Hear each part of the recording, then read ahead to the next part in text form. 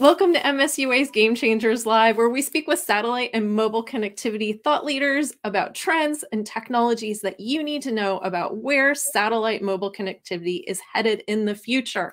I'm your host, Lisa Dreer, and our guest for today is Steve Richeson. He is the VP of Sales and Marketing at Mission Microwave. Welcome to the show, Steve. Thanks, Lisa. It's great to great to do this again, and thanks to uh, MSUA uh, for putting these on. They're all, they're they're kind of fun to watch if you have time on a Thursday.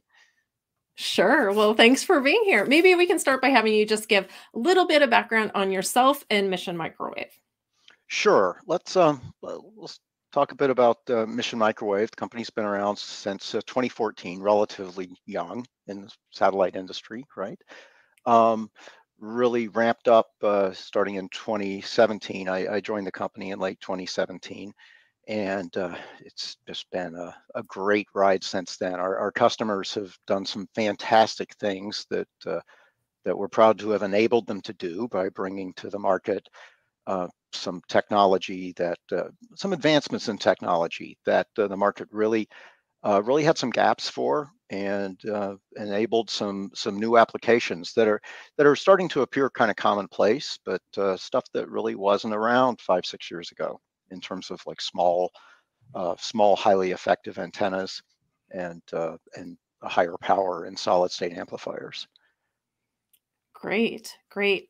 So maybe you can talk a little bit about you know just simply giving us an update on what Mission Microwaves company is doing and what your offerings are. Okay, great. Um, well, just to, I always like to start and point out that you know we're where we fit on the value chain in the industry, right? I mean, we make solid state amplifiers and block up converters. And um, most of the users of satellite communications don't know what that is, right? It's a it's a high value component in a ground terminal. So the uh, it's where the RF power comes from for the transmission side. So we take a signal from a modulator, m- multiply it by a million times without messing it up, right? So taking something from milliwatts up to hundreds of watts without distorting the signal, right? That's that's what these uh, block up converters do, convert in frequency and power. Um, typically on a ground terminal, they're the high cost component that the antenna manufacturer will have to buy in because it's a unique expertise to make these. Um, antenna manufacturers focus more on the on the optics, on the mechanicals, on the manufacturability of that. Um, RF electronics are a discrete skill set, and uh, so those are typically bought in. Uh, and uh, we sell to uh, pretty much everybody in the uh, terminal market and the ground station, the ground side of the business, right? That's gateways and terminals. And that um, that's what we bring, right? You can see in, in the mm-hmm. background behind me, we got our trade show booth because the satellite show is coming up in two weeks, right? So it'll this is from last year. It'll look pretty much like that this year. But we make the we make round amplifiers, right? That's our our signature is the the Stingers, the Javelins, and the Titan product range that uh, have a unique shape, a lot of other unique features about them. Um, that differentiate them in the market and, and most importantly enable our customers to do new things with ground terminals that they couldn't do before great so maybe talk a little bit about what are some of those things that they can now do. Um, sure. Let's uh, let's well mainly you know smaller, right? Uh, mobility requires efficiency in uh, size, weight, and power, right? And so what Mission Microwave, uh, the real value proposition that we bring is in, in a word, efficiency, right? We actually convert more of the power that goes into the amplifier into the RF power um, than any of our competitors in the market. We it's that's part of the magic in what we do. We're we're more efficient, but the benefit of that efficiency is that you generate less heat, right? And that means in the in the amplifier business, it's all about thermodynamic design. You got to have to get you have to get rid of the heat that you gener- generate, and the best way to get rid of that heat is with a lot of metal that saps the heat out, a heat sink. And uh, if you generate less heat, you can have smaller heat sinks, less metal, um, and so you can make smaller products, smaller, more lightweight products. And if you're putting that on, you know, on a gateway that weighs 14 tons is never going to move, not a big deal, right? But if you're putting it on a UAV or an on the move terminal or a maritime terminal that has to slew the amplifier around all the time, it's a very big deal. In fact, it's an enabler there's an entirely new class of terminals made by companies like GetSat that are small, high performance terminals that go on mobile platforms and even helicopters, right? Mm-hmm. Entirely new segments of the market that pretty much didn't exist because you you didn't have all the parts. Now, certainly our customers bring some magic of their own to do that. And we are an enabler to that because they need a small, powerful, reliable amplifier. So mm-hmm. efficiency that leads to better reliability, better better performance, and better size, weight, and power. So that's an enabler for these new types of terminals um, that serve segments of the market that were really underserved before. And in the gateway market too, it, it actually does matter because when we get into size, weight, and power, maybe not so much size and weight, but certainly efficiency is important because of a couple of things, energy costs. Uh, you generate less heat, that makes a more reliable product. And in, even in uh, Earth large gateway antennas, typically you have to control the temperature environment, and the, the less heat that you're dumping into that environment, the better. So, yeah. so the value proposition proposition translates into the gateway market as well. And we've had a lot of successes of very high power, uh, 400 watt, for example, Ka band amplifiers that replace 500 watt TWT amplifiers that are the kind of the traditional go-to in the business. Mm-hmm. Mm-hmm. So I'm hearing I'm hearing more solutions for mobile applications. Are there other trends that you're keeping an eye on and that are influencing your direction as a company? Well, there's a very long-term trend of shifting from traditional kind of traveling wave tube amplifiers that I mentioned, the TWT amplifiers, to solid-state amplifiers, and um, you know we're right at the cutting edge of that in terms of enabling customers to make that shift because there are lots of benefits. It's you know, to simplify it, the analogy is like switching from incandescent light bulbs to LED light bulbs, right? A lot of benefits in terms of, of power, reliability, um, and they look cool, right?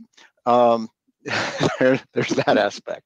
Uh, so that's a that's a trend that's been going on for years, right? It started on the space side, and uh, some of our founding team was even involved in that transition, and it continues on to the ground side at higher and higher power levels. That's not to say that any of these are going away. They are, there are applications in the higher frequency bands where we are still a long ways away from solid state taking the place of traveling wave tube amplifiers. Um, no, but it's kind of the inevitable march of technology as well. And so mm-hmm. we've uh, we have uh, certainly um, help advance that in some areas. We uh, with some products that um, that we've introduced in the last few years that uh, customers came to us and asked, "Could you do this?" And honestly, they didn't think we could to mean like we make a drop a drop in replacement for the gateway market, yeah. a drop in replacement for a 500 watt traveling wave tube amplifier, drop in, same size, drops right in. Um, our customers asked us to do that, and when they asked us to do that, they really didn't think we could do it, and uh, and we did, and they've been very happy with that. Wow, amazing. So, what types of use cases or industries are you supporting? Well, the uh, the market is um, is is is split, right? Uh, our customer base, right? Uh, uh, my customers are the people who make ground terminals, right? Whether they're gateways or terminals on mobile or fixed environments, right? And so there's a, a large government aspect to that, right? In the tactical terminal market, it's kind of an obvious benefit to be able to have something that's um, rugged and small. You can pack in a case, ship around, put up easily um, and have commonality across the different parts of the product, whether it's a, the different bands and things like that, which we which we support. Um, on the commercial side, of course, there's the traditional aviation, maritime, and then the traditional kind of VSAT market as well, right?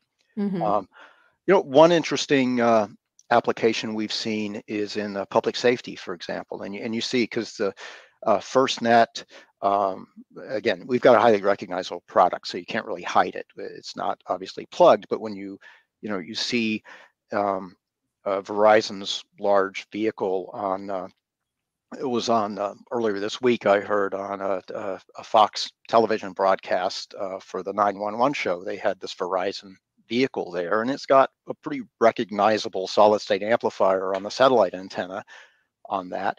And so that's a an interesting segment for us. And, and what's interesting about that one is, um, you know, those kind of applications have been around for decades. Um, what's driving them to products like ours is that these uh, portable gateways and disaster recovery things now need to support tremendous amounts of data, right? They're all like 5G cell on wheels kind of applications, and so they can't do that with a little VSAT terminal anymore. So these these um, large terminals now they typically have 100 watt amplifiers on it, which is pretty big. Um, and uh, you know, so they they're putting large amounts of throughput forward through and bringing them into uh, disaster areas. So so we see some really interesting applications there, right? You know, like mm-hmm. you know something uh, um, you know something comes back to us and. Uh, uh, we we look inside and it's full of like a what the hell happened to this right and it turns out it was in a forest fire supporting firefighters right oh wow um, so that kind of an interesting application um, and you know it just need to clean it up that's all mm-hmm. Uh, you get remarkably fine dust from forest fires. That's not the first thing you think of, but uh, that's right. a byproduct. Mm-hmm. Wow. So, what role are partnerships playing in your business? Oh, partnerships. Um, you know, partnerships explicitly. Um, Uh, the way we work with our customers, it's it's almost always a partnership. Again, we, eh, eh, you know, not an official partnership with like contracts that say we're in a partnership, but because we're fairly low on the value chain and an enabler of these, right? We're very early in the design cycle. We work really closely with the product development team, the engineering teams, uh, customers. You know, that's that's driven by marketing on their side, right? They mm-hmm. decide they want to have a terminal that's very robust. It's placed at the high end of the market, and they work with us to come up with the right solution for that. So it's the most efficient in terms of performance, cost, design, um, to be able to do that. So we don't. Um, you know, I would say we, we don't really do partnerships, but you know, we sell to all the major uh, terminal manufacturers, and I think um, I, I, I believe and hope that they would identify us as a partner with them uh, on all of those because of the way mm-hmm. we work with them. Great, great.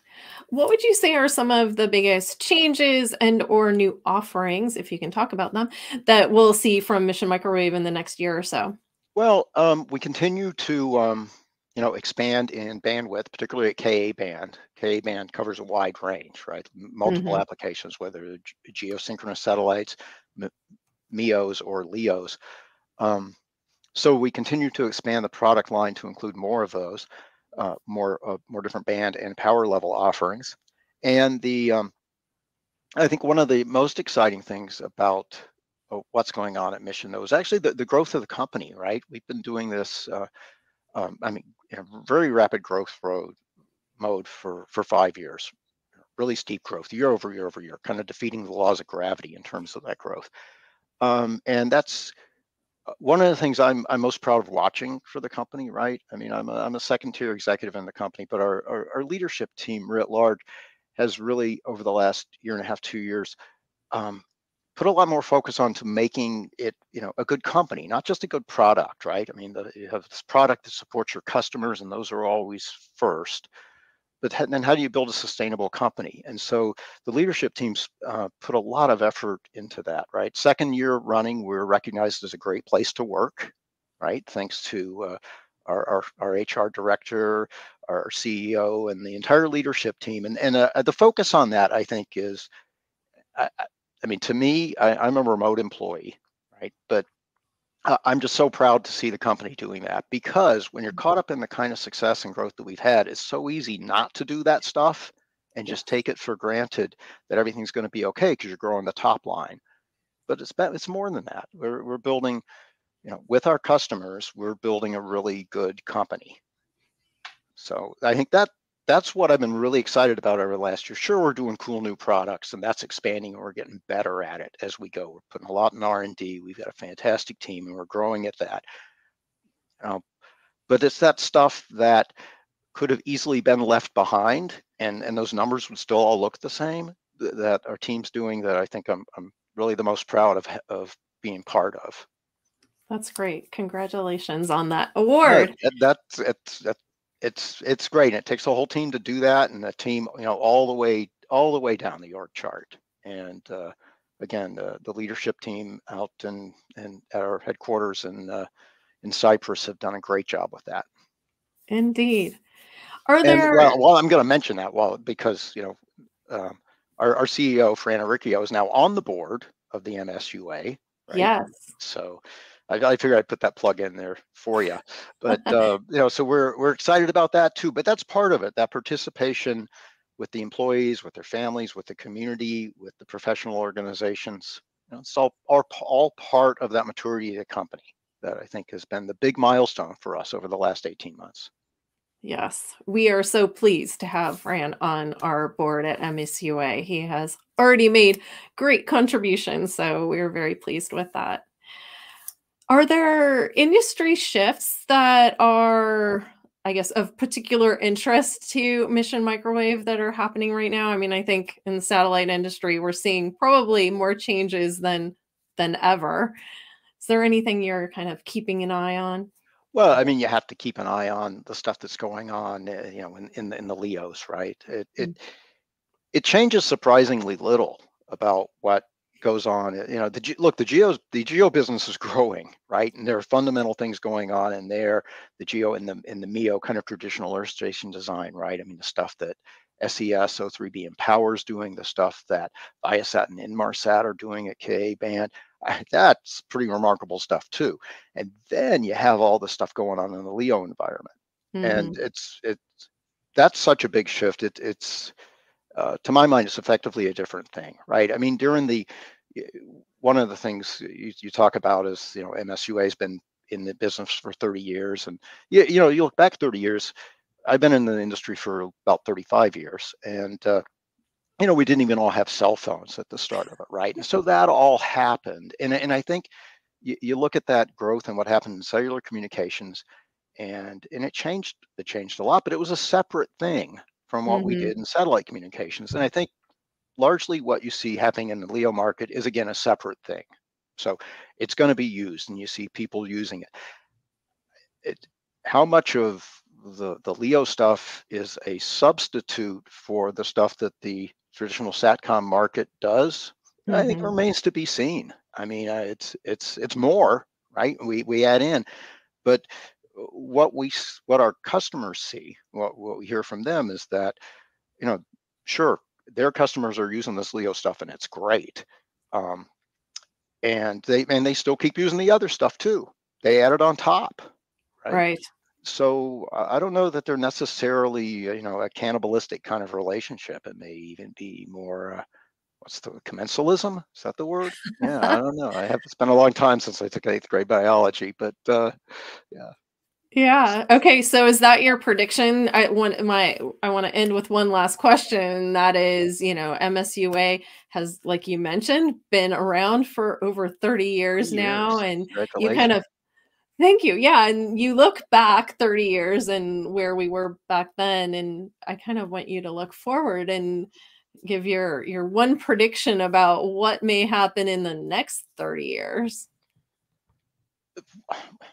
Uh, uh my one prediction would probably less than you'd think, right? I mean, things things move not glacially, but but pretty slowly, right? And mm-hmm. um, yes, I mean, there will be a lot of changes. There'll be shifts. There'll be things that get added in. Um, certainly, you're looking at. Uh, I mean, Satcom's gotten so much easier to use and embed in many different layers of the telecom infrastructure, and it'll continue to get easier, right? Mm-hmm. Um, and that we're part of that. We're an enabler of that, and so that'll continue to happen.